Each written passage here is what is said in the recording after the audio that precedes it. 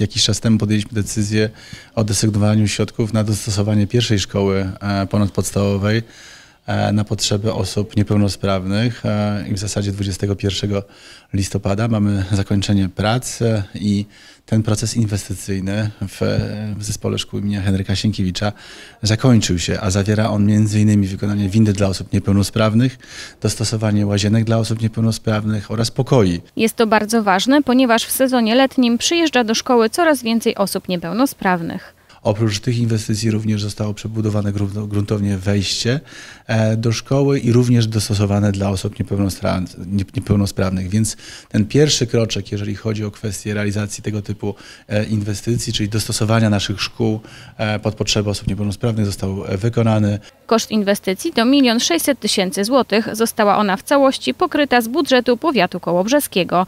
Teraz czekamy na kolejne placówki.